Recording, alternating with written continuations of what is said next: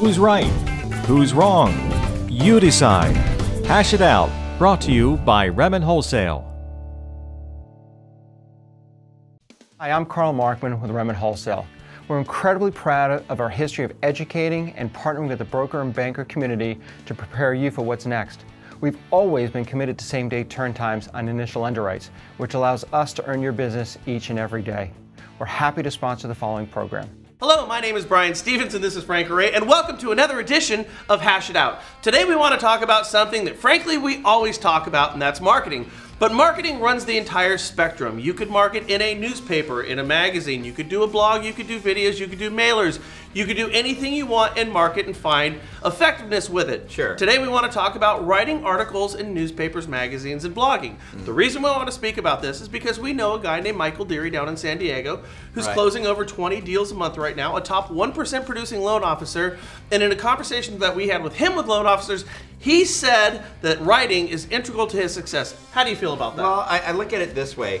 The guys that are doing the writing or the radio shows, these type of guys, they tend to be more uh, career oriented or long term Okay, okay. thinking is, is where they're at. We know a gentleman in the Bay Area. Uh, he's, he has a radio show, he's had it for a long time. And I personally thought that he was part of the radio station. I really Sure. did. But no, it turns out he's just a loan officer who has this show that he started out by, you know, paying, I, I believe, but I don't think he has to do that anymore because it became Either so way. popular.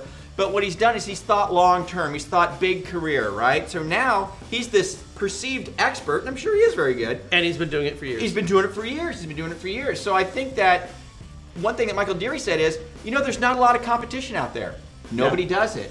And I'm wondering if that's because most people just have a sh- are, are more short-sighted in their marketing than these guys are. I mean, what do you, what do you think? Okay, and, and by the way, another example would be Marty up in Seattle. I know he's been doing Yeah. this radio show for 20 years, so Yeah. people are familiar with what he does, and I'm sure his business reflects that. Yeah. Uh, now, it's not realistic for everybody to go uh, write an article for your local newspaper Okay. or to do a radio show.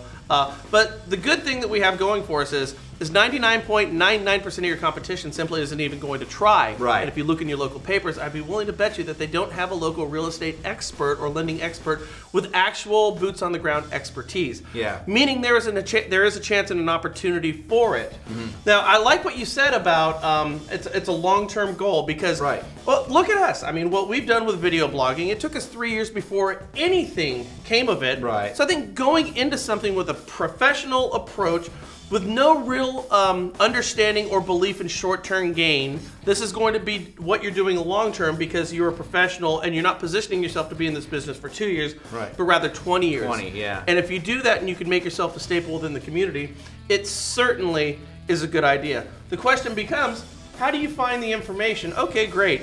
I'm the local expert. What do I talk about? We hear it all the time. Yeah, well, one thing, I mean, watch our show. We're always bringing up information that you can talk about. The nationalrealestatepost.com. Search websites, etc. Look for real estate news, mortgage news. Anytime anything comes out that makes you in your industry kind of go, huh, that's a pain in the butt. You know, well, there's something that you can write about, and there's plenty of that going on right now. And the way that you get it in front of these newspapers is you simply send it in. That's what Michael Deary said. He said, I found out who the editor was. I just Googled who's the editor of my local paper, found out who it was, and just started sending the editor, you know, here's some material, here's something I wrote, here's something I wrote. Do you need me to contribute? Next thing you know, yes, we'd like to have you in there. Now he's in there twice a month Yeah.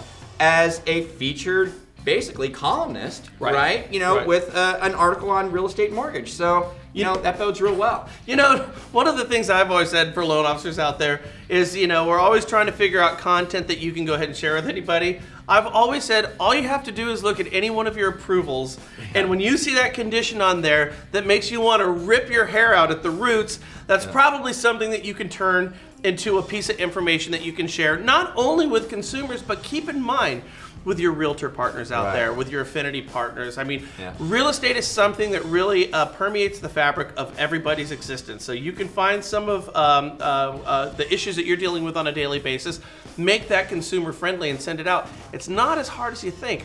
We've been doing it for about 10 years now. Yeah, something you brought up when we were doing coaching, and we'll, we'll wrap this thing up, Sure. but was the fact that most people get online and, and they consume information. Right. Most people are not providing the information. Right. So it's just like Michael Deary said, and you said, if you could be one of those people that's actually a content provider, you're really standing out. Yeah. You're really becoming an exceptional um, you know, character in your industry, Right. whatever that whatever that might be. So anyway, And one last point I Yeah. want to say. If, if there's a naysayer out there saying, well, I live in a big market and this simply won't fly because we don't have the small mom and pop newspapers, I do want to point out that Michael, Deer, Michael Deary's in San Diego, Yeah. not exactly a small area. Right. So the point is, uh, whatever you're doing with your marketing, I think there's a level of consistency that you have to uh, consider. And if you're looking at education as part of your marketing tools or your platform, a spoke on the wheel of your industry and, and your profession, um, do a good job at it, do it consistently, and get it out in front of people. And you might be surprised with some of the responses that you get. Well, there you go. Let us know your thoughts down below, and maybe if you have experience at this, that would be very helpful for everybody else Sure. as well. And we'll catch you here next time on Hash It Out. Thanks, guys. Bye. Bye. What's the ultimate measure of a wholesale lender? Commitment. REMN Wholesale is committed to our broker partners. It's why we provide a huge educational platform offering everything from webinars to seminars to individualized training tools and the program you just watched. We understand that our role is to make you look great in front of your customers and referral sources so you can earn more business and increase your income. Find out more at REMNWholesale.com.